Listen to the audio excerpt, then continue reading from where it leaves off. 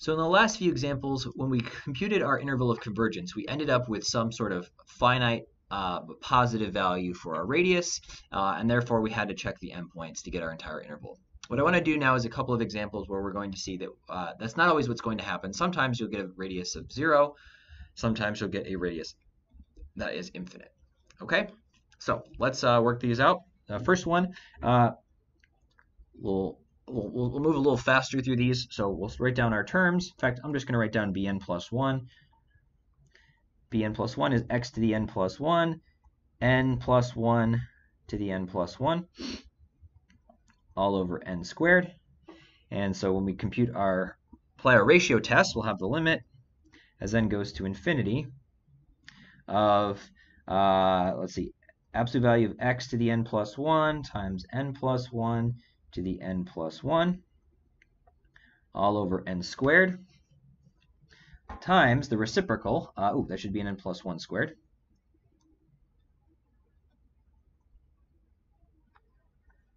So it'll be n squared on top, x to the n on the bottom, and n to the n down there. All right.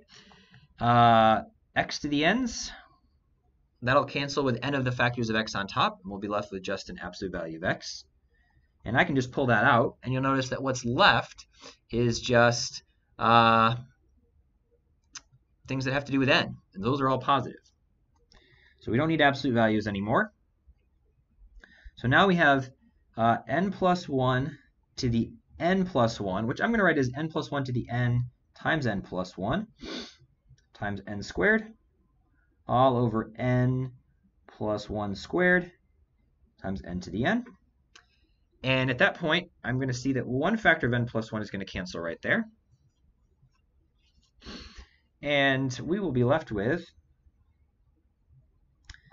absolute value of x times the limit as n goes to infinity of n plus 1.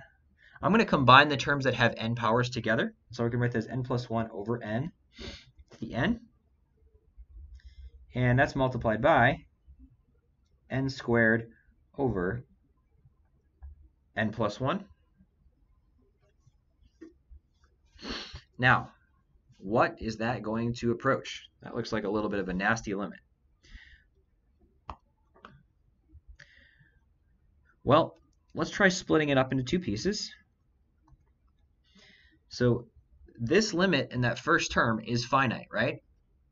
Uh, it may not be obvious, but it turns out that that's actually a very uh, commonly encountered limit. Uh, it actually approaches e. So that's the limit as n goes to infinity of, uh, we can write that as 1 plus 1 over n raised to the n. And I'll post a YouTube video with the derivation for that, but you can show that that's actually just e multiplied by the limit as n goes to infinity of n squared over n plus 1.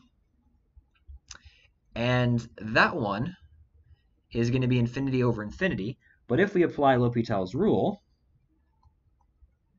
we will have limit as n goes to infinity of derivative of the top would be 2n, and derivative of the bottom would be 1. And so notice you'll get infinity. And so our ratio here uh, is going to be infinity times e times absolute value of x. Well, that's going to be infinite. As long as x is not equal to 0.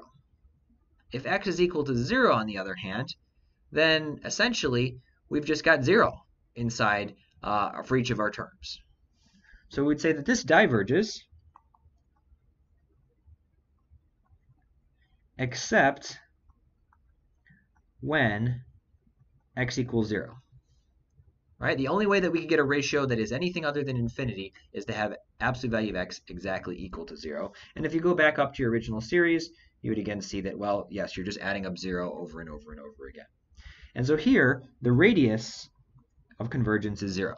It only converges at the center point. It doesn't converge anywhere else. All right, let's try our second uh, problem. So here we've got x to the n, 2 to the n over n factorial.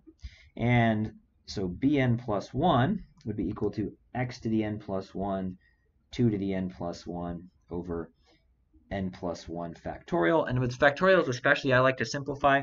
So let's pull out, first of all, an x and a 2.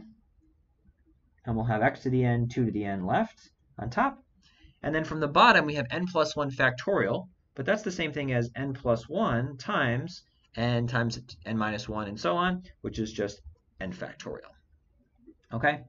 So when I take the limit as n goes to infinity, to compute my ratio, I'll have 2x times x to the n, 2 to the n, all over n plus 1 times n factorial, multiplied by the reciprocal of our terms, which is n factorial over x to the n, 2 to the n.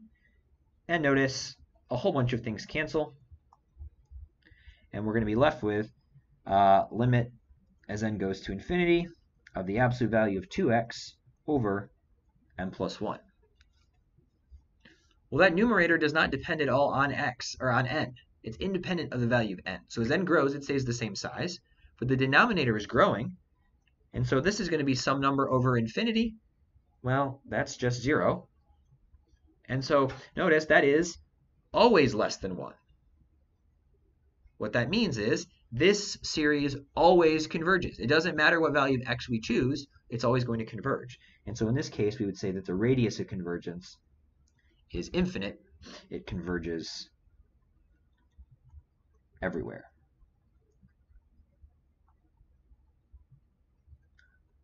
By that I mean for all x.